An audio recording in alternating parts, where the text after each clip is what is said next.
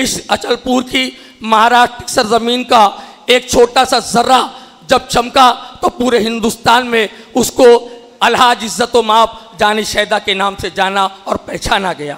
نذرانہ نعت کے لیے میں آپ کے بیچ مترنم آواز کے مالک اور خالق علی جناب، میں جانی شہدہ صاحب کو ان چار مصروں سے پیام اعظمی کی آواز دینے جا رہا ہوں کہ کتنا اونچا تیرا کردار نظر آتا ہے۔ کتنا اونچا تیرا کردار نظر آتا ہے، عرش بھی سایہ دیوار نظر آتا ہے۔ کتنا اونچا تیرا کردار نظر آتا ہے، عرش بھی سایہ دیوار نظر آتا ہے۔ تو نے جس روز سے دشمن کی عیادت کی ہے کفر اس روز سے بیمار نظر آتا ہے۔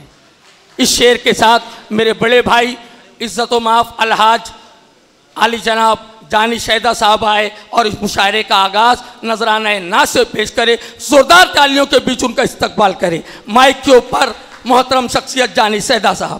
السلام علیکم۔ حضرت گرامی، ایڈوکیٹ عابد صاحب، جناب صدر ہیں، ان کا حکم مناجات کے لیے تھا۔ لیکن ہمارے علاقہ برار میں مشاعروں کی برسات کرنے والا تہذیبی اور ادبی بادل، جس کا نام ڈاکٹر خالد نیئر ہے، ان کا اصرار ہوا کہ میں نعت پاک پڑھوں۔ تو بہت بہت شکریہ ان صاحبان کا، اور میں نعت پاک کا ایک مطلع اور دو شعر پڑھ رہا ہوں۔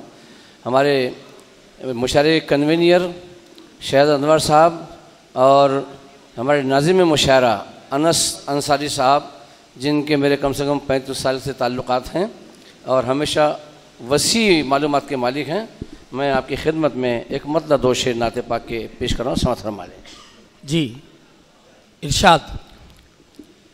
نبی پیدا ہوئے تو رب کی رحمت جھوم جھوم اٹھی۔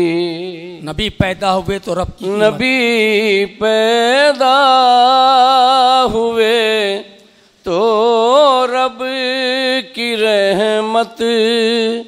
جھوم جھوم اٹھی۔ نبوت جھوم جھوم اٹھی۔ رسالت جھوم جھوم اٹھی نبی پیدا۔ شعر دیکھیں گے۔ ارشاد جانی بھائی۔ سرے محشر خدا کا خوف تھا۔ اور فکر بخشش تھی۔ سرے محشر خدا خوف تھا اور فکر بخشش تھی۔ رسول پاک کو دیکھا تو امت جھوم جھوم۔ سبحان اللہ سبحان اللہ سبحان اللہ کہہ دیجیے بھائی۔ رسول پاک کو دیکھا تو امت جھوم جھوم اٹھی۔ اور تیسرا شعر آخری شعر۔